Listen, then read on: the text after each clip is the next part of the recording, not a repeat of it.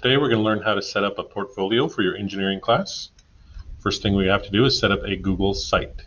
So from your Google homepage, go click on the uh, Google Apps icon, the little Rubik's Cube, and open your Google Drive. In your Google Drive, click New, go down to More, and then over to Google Sites. Once you've opened your Google site, you're going to want to name it. So it says enter site name, you want to enter your name, your first name, and your last name. And then we want to give it our page a title. So of your page title, we're going to call it Engineering Portfolio. And that's really it. We've set it up. Now for yours, we're going to have this page here that's called About Me. And we're going to set up a second page called IED. So to make the second page, on the right hand side, this is like your editing box. The second tab over is called Pages. We're going to go down and we're going to um, add a new page, and we're going to call that page IED and say done. And now if you look up here, there's a navigation bar, there's home and IED. I like that first one to say about me, so I'm going to click these three little dots. I'm going to click the properties, and I'm going to rename that. Instead of home, I'm going to call it about me.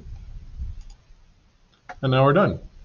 Now we want to go insert. You can see we're on the IED page though. We want to, we're going to edit our About Me page.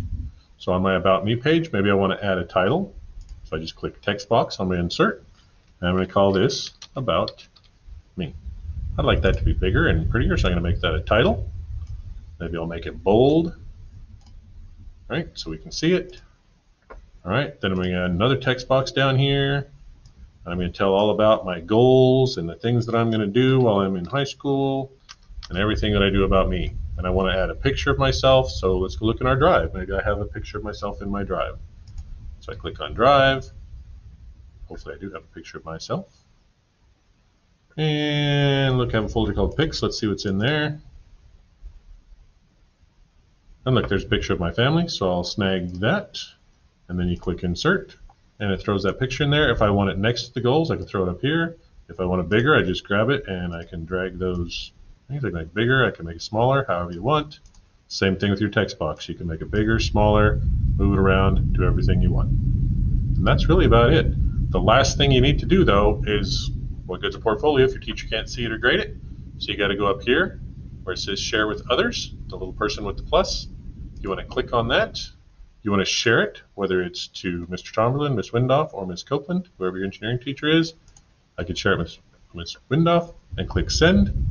Okay, I really don't need to, I'm just going to cancel mine. The other thing you want to do is you want to change this links so that when it's published, anyone at Round Rock ISD. Okay, for your teacher to see it, I would also put anyone at Round Rock ISD. And then you just click done. And now everybody can see it. If you actually want to publish this on the web, you have to click the publish button in the upper right hand corner. And you're all done. Have fun.